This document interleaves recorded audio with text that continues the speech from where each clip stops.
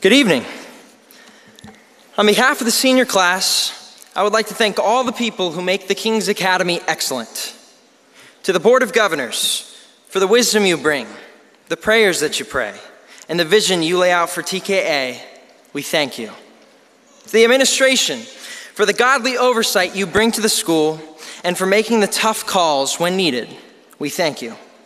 To the faculty, who give your all each and every day, laboring to provide us with a tremendous education and pushing us to do our best, even on the days that we don't want to learn.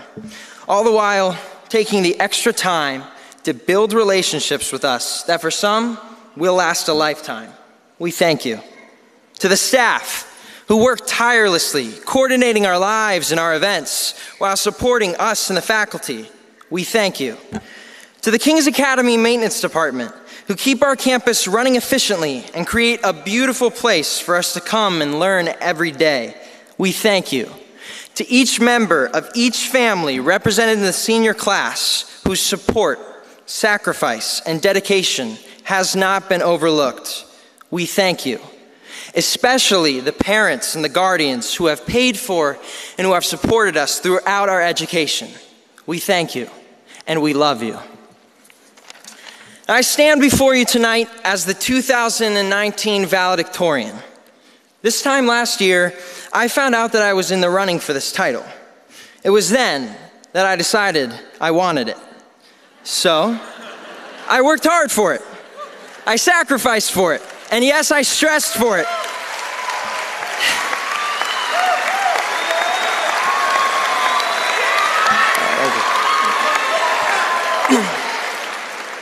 And I got it. And at our senior award ceremony, it felt so good when I heard my name announced with this title. It was so good. For about 15 seconds. Yeah, 15 seconds of my heart racing and my adrenaline pumping. 15 seconds of, yeah, I won.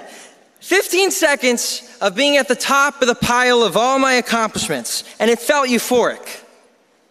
But there must come a 16th second. And on that 16th second, sat down in my seat, I looked at my silver stole that says valedictorian, and I thought, that's it? what just happened? Why, why am I not feeling anything else? Uh, to be honest, I, I don't even know what I was expecting. A parade of balloons to drop? Or maybe I was hoping that all of my problems would fade away in comparison to this amazing achievement. But none of that happened, not even in my heart. I felt nothing.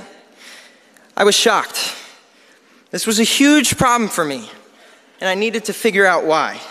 So here was my thought process Working hard is good, it is, in fact, biblical, but it should not be done for the sole purpose of a goal's sake at the expense of relationship with others. And looking back on this year, I realized that the stress of this year for this goal in a five minute speech was paid for with the lack of attending to relationships in my life. A lesson learned and self reflection accomplished. Now, I would like you, my fellow classmates, to do some self reflecting. I would like you to take a moment to fill in a different thing that you strive for and you focused on. Something that you thought was the end all be all. Perhaps it was sports, perhaps it was fine arts, academics, getting into a particular school, an unhealthy social life, social media, or video games. Friends, we are about to launch into life, and we haven't messed anything up yet. Now think Instead of academics taking your focus off your important relationships, it was your career you chose over your spouse. Instead of sports, it's money that you pursue at the detriment of your children. Instead of just the Instagram worthy picture, it's striving to be famous at the expense of time with your friends because now you're too self involved. I'm well aware that this is kind of a downer speech, but I don't care. Because a lesson learned should be a lesson shared.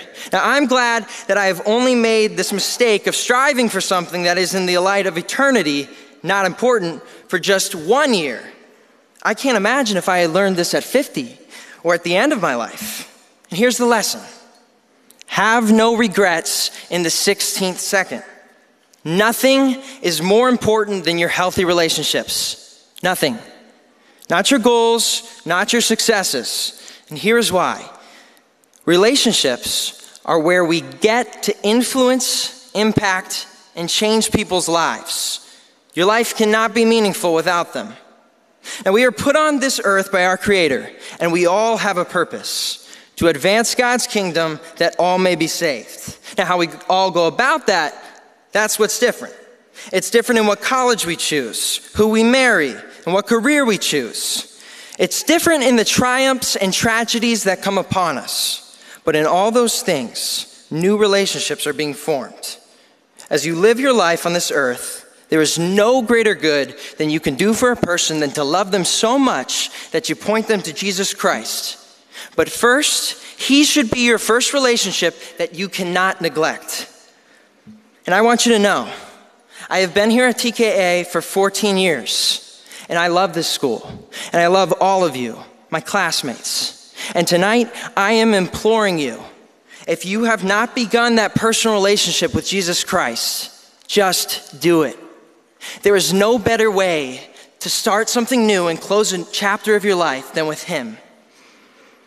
If He is your Lord and Savior, then make sure you care for that relationship above all others. And after that, prioritize what is important in your life and never, never lose focus of your important relationships. So be generous with your time and money, and a lot of relational issues will be resolved. And by the way, it's not too late to mend fractured relationships.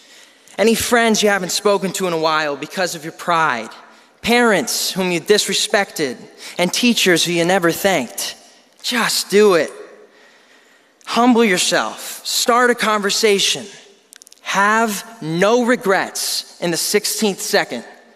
In conclusion, this has been one of the hundreds of life lessons I have learned at the King's Academy, and that has been more valuable than academics. So, thank you to all who have taken the time to teach each of us our lessons. And once again, thank you to our parents who have been the main source of our lesson learning.